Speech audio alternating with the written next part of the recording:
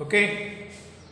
First year BA వాళ్ళకి second paper second sem సంబంధించినటువంటి ఇక్కడ ఏమనిస్తున్నాను ఉపాంత మూలధన సామర్థ్యమును వివరించండి అన్నారు. ఉపాంత మూలధన సామర్థ్యం అంటే ఏమిటి ఉపాంత మూలధన సామర్థ్యానికి వడ్డీ రేటుకున్న సంబంధం ఏమిటి ఉపాంత మూలధన సామర్థ్యాన్ని నిర్ణయించే అంశాలు ఏంటివి ఇవన్నీ కూడా ఇందులో వస్తాయి నేను ఈ రోజు క్లాస్లో కేవలం ఏం తీసుకున్నానంటే ఉపాంత మూలధన సామర్థ్యం అందిస్తున్నారు. ఉపాంత మూలధన సామర్థ్యాన్ని నిర్ణయించే అంశాలు రేపటి క్లాస్లో తీసుకుందాం మరి. ఒక ఐదారు ఉంటాయి. ఇప్పుడు ఉపాంత మూలధన సామర్థ్యం అంటే ఏమిటి? ఉపాంత మూలధన సామర్థ్యానికి పెట్టుబడి రే రేటుకు ఏ విధమైన సంబంధం ఉంటుంది అనేది ఇక్కడ మనం సంక్షిప్తంగా విశ్లేషణ చేయడానికి ప్రయత్నం చేద్దాం. సో ఇక్కడ ఏమన్నా నేను ఉపాంత మూలధన సామర్థ్యం అని దేన్ని అంటారు? చూడండి. మూలధన ఆస్తి నుంచి బాగా గమనించాలి.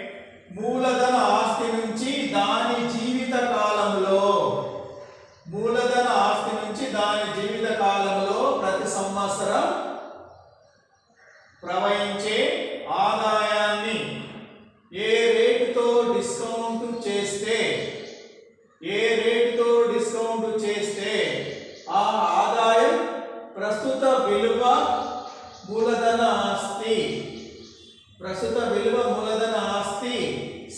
సప్లై ధరకు సమానం అవుతుందో ఆ డిస్కౌంట్ రేటును ఉపాంత మూలధన సామర్థ్యం అంటారు.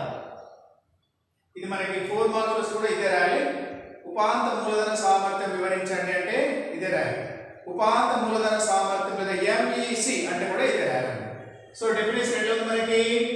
మూలధన ఆస్తి నుంచి మూలధన ఆస్తి నుంచి దాని జీవిత కాలంలో ప్రతి సంవత్సరం ప్రవహించే ఆదాయాన్ని ఏ రేటుతో డిస్కౌంట్ చేస్తే ఏ రేటుతో డిస్కౌంట్ చేస్తే ఆ ఆదాయం ప్రస్తుత విలువ మూలధన ఆస్తి సప్లై ధరకు సమానమవుతుంది అవుతుందో ఆ డిస్కౌంట్ రేటును ఆ డిస్కౌంట్ రేటును ఉపాంత మూలధన సామర్థ్యం అంటారు ఓకేనా మరి ఉపాంత మూలధన సామర్థ్యానికి వడ్డీ రేటుకు ఏ విధమైన సంబంధం ఉంటుంది?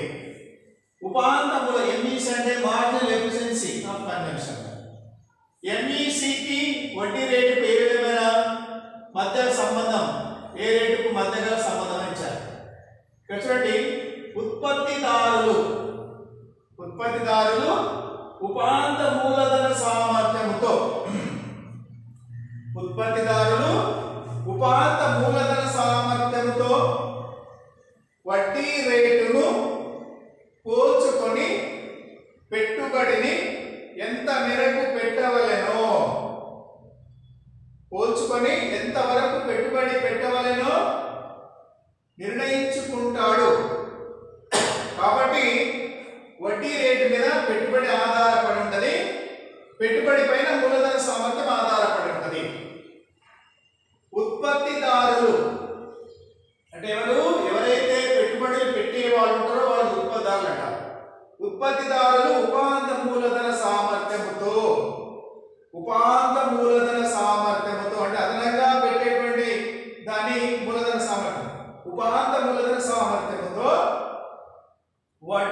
రేటును వడ్డీ రేటును పోల్చుకొని పెట్టుబడిని ఎంత మేరకు పెట్టవలెనో నిర్ణయించుకుంటాడు. అందుకే ఇక్కడ ఏమని ఇచ్చాను నేను? ఇక్కడ మీరు బాగా గమనించాలి. ఇన్వెస్ట్మెంట్ కంటే పెట్టుబడికి ఉపాంత మూలధన సామర్థ్యానికి మధ్య గల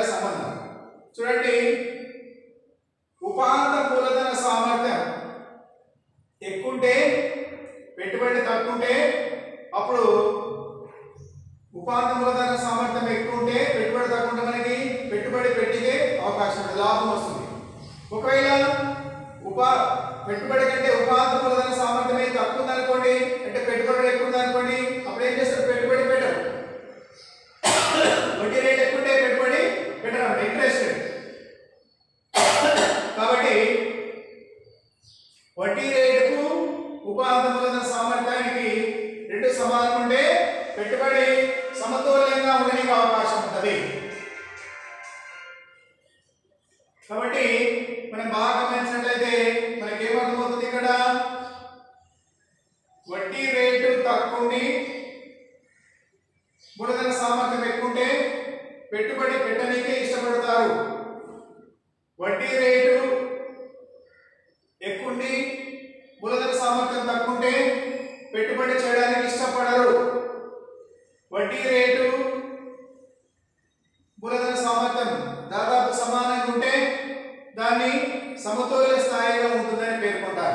ఓకేనా?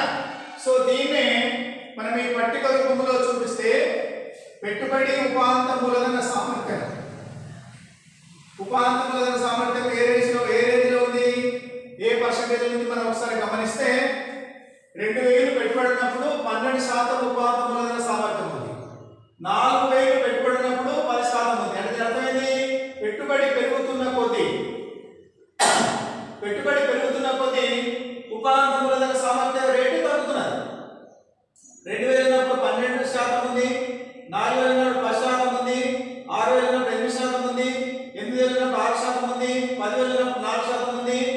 పన్నెండు వేల ఫ్రెండ్స్ రెండు శాతం అంటే పెట్టుబడి పెరుగుతూ ఉన్నప్పుడు పెట్టుబడి పెరుగుతుంటే ఉపాధి మూలధన సామర్థ్యం తగ్గుతుంది. ఇక్కడ చూడండి పెట్టుబడి పెరిగింది పెట్టుబడి రేటు పెరిగింది వడ్డీ రేటు ఉపాధి మూలధన సామర్థ్యం తగ్గుతుంది. ఇక్కడ పెట్టుబడి తగ్గుతున్నది మూలధన సామర్థ్యం పెరుగుతుంది. అంటే చూడండి పన్నెండు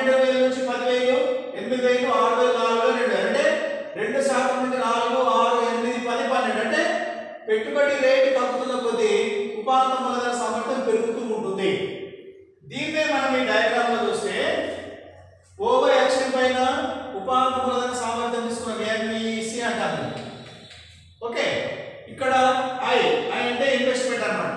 ఓఎక్స్ పైన ఏం తీసుకున్నాము ఐ పెట్టుబడి తీసుకున్నాము ఈ రేఖ ఏంటి ఎంఈసి రేఖ అంటే ఉపాంత మూలధన సామర్థ్యం తెలిపే రేఖ. ఏది ఇది? ఉపాంత మూలధన సామర్థ్యం తెలిపే రేఖ ఈ రేఖ అన్నమాట. మీరు చూడండి. ప్రారంభంలో మనం పెట్టుబడి రెండు వేలు ఉంది అనుకోండి. ఎంత ఉంది ఉపాధి మూలధన సామర్థ్యం? పన్నెండు వేలు పన్నెండు శాతం పెట్టుబడి నాలుగు వేలు అనుకోండి.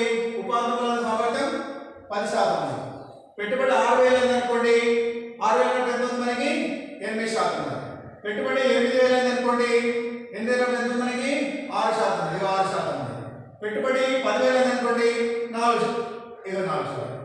పెట్టుబడి పన్నెండు వేలు అనుకోండి రెండు శాతం ఇగో రెండు శాతం. ఇట్లా అన్నమాట. అంటే దీని అర్థమైంది పెట్టుబడి పెరుగుతుంటే పెట్టుబడి పెరుగుతుంటే మూలధన సామర్థ్యం యొక్క శాతం తగ్గుతూ ఉంటుంది. చూడండి. అట్లనే పెట్టుబడి తక్కున్నప్పుడు ఎక్కువ ఉపాధి మూలధన సామర్థ్యం పర్సెంటేజ్ ఉంది పెట్టుబడి పెరుగుతున్న కొద్ది పెట్టుబడి రెండు వేల నుంచి నాలుగు వేలు అయింది. పది నుంచి పది శాతం తగ్గింది. పది నుంచి పది శాతం తగ్గింది. పెట్టుబడి ఆరు వేలు అయింది. ఎనిమిది శాతం అయింది. పెట్టుబడి ఎనిమిది వేలు అయింది. ఆరు శాతం అయింది. పెట్టుబడి పదివేలు అయింది. నాలుగు శాతం అయింది. పెట్టుబడి పన్నెండు వేలు అయింది ఆరు శాతం అయింది ఓకేనా దీన్నే మనం డయాగ్రామ్లో చూపిస్తున్నాం ఇది చూడండి ఓఎక్స్ అక్షం మీద పెట్టుబడిని ఓకేనా ఓవై అక్షం మీద ఏం తీసుకున్నాము ఎంఈసి ఉపాంత వినియోగ ఉపాంత ఉపాంత సామ ఉపాంత మూలధన సామర్థ్యం ఓఎక్స్ పైన తీసుకున్నాం ఓకేనా ఎంఈసి రేఖ ఉపాంత మూలధన సామర్థ్యం అంటే ఏబిసి రేఖ అండి ఇది ఉపాంత మూలధన సామర్థ్యం తెలిపేటువంటి రేఖ. వైక్షేప ఏం తీసుకున్నాం మనము. వైక్షేప ఏం తీసుకున్నాం? ఎంఈసి రేఖ ఉపాంత మూలధన సామర్థ్యం రేఖ.